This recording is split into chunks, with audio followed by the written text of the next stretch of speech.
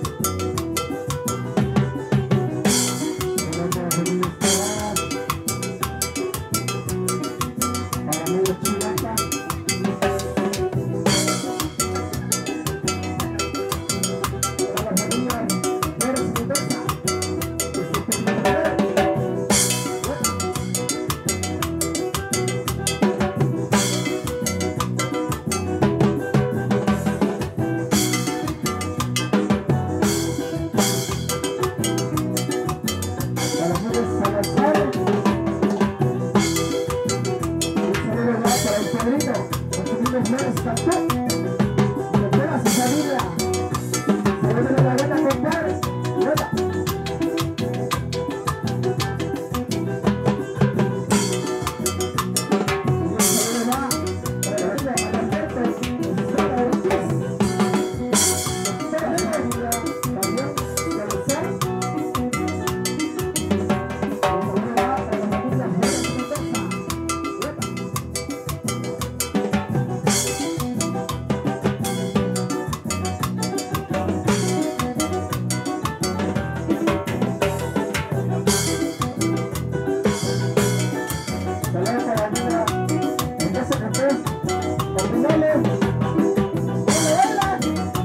el nivel de ahorita aceleramos.